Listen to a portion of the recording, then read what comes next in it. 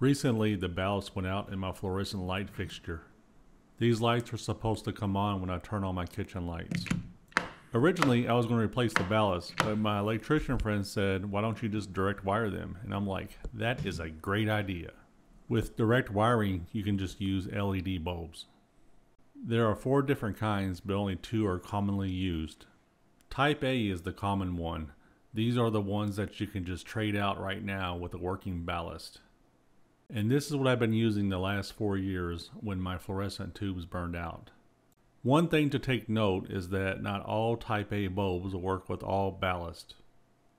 Type B LED tubes do not require a ballast, and this is what I'm going to do, direct wire to bypass the ballast. I found when buying LED tubes, if they don't say B, they are probably A. There also is a Type C LED tube that is dimmable, and there is a Type A plus B, but we're not going to focus on them right now. I just want to let you know they do exist. Now this was my plan going in. I was going to cut all the wires on the ballast, direct wire to the tombstones on the right hand side, and cut the wires on the tombstones on the left hand side.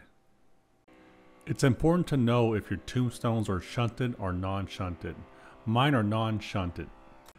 This means each leg has its own power source and this wiring will work. However, after inspecting my wiring and thinking about it, I changed it up and you'll see why.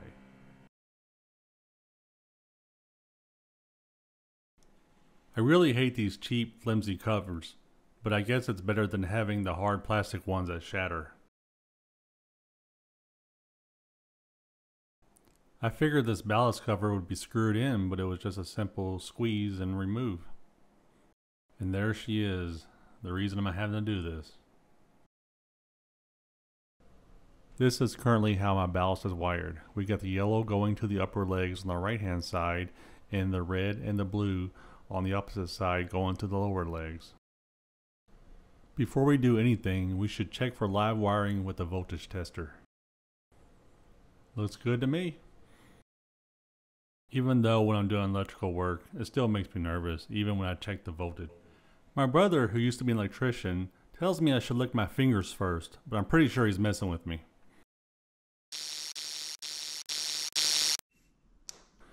You should always check your tester on a known live circuit. You might have a dead or even missing battery.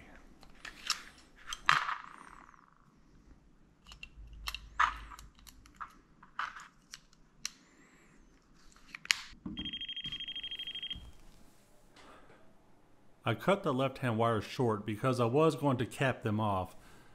I regret doing this. There was no need to remove the ballast, but I figured I'd get it out of my way. Alright, here's a new plan. I already have jumper wires running on the right hand side to the upper part of the tomb and on the left hand side to the lower part of the tomb. So if I wire hot to the right hand side to the upper tombs, I should be able to take my neutral to the lower side of the tombs on the left hand side and circulate power. Since I cut the blue and red wires short, I'll have to splice them back in. I think this will be less work than wiring the tombs on the right hand side for neutral. I believe this should work just fine. What would you have done? Would you have done it this way, like I'm doing now, or would you have done it like my original plan and just wired one side? Sorry for the poor camera work here. I am new to this. I tape off the hot just for a peace of mind and then I wire in the neutrals as planned. As a DIYer, I should probably invest in some Wago nuts, but I've been using wire nuts for years and I haven't burned a house down yet, at least not one they can prove. Here are the lights that I got. I got them from Lowe's. They were $25 for a pair, so 50 for all four. I have found a set of four Type B LEDs on Amazon. But I didn't want to wait for shipping. I wanted to surprise my wife while she was out of town on the weekend because she's been wanting this light back for a while. And it was only $13 more, and these are GE after all, not some unnamed brand I don't know about. One of the things I noticed when watching videos is that no one was putting warning labels up letting others know that the ballast has been bypassed. Originally I was going to use a label maker to make a warning sign, I was pleasantly surprised to see that these bulbs came with warning label stickers that I could put on myself. Each box comes with two warning labels, so I threw all four on there.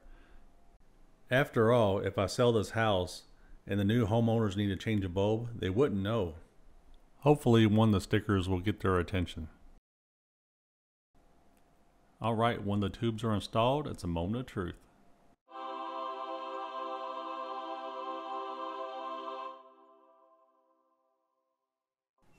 Another thing I'll mention is that there is an LED strip inside these bulbs and you want to face them the right way. One thing I forgot to mention that on the box, there are wired diagrams on how to bypass the ballast. That should help you out if you're doing this project and you have a different setup than me. Alright, while I'm getting this button up, I want to mention I will leave a link below to the bulbs I used. And I'll also leave a link to the ones on Amazon I would have used. I will say these are very bright. They're 5000 lumens. So if you want something that's a softer white or less bright, you will have to search around yourself. If you're looking to do a project like this, I hope this helped you out. And thank you for watching. I'll see you in the next one.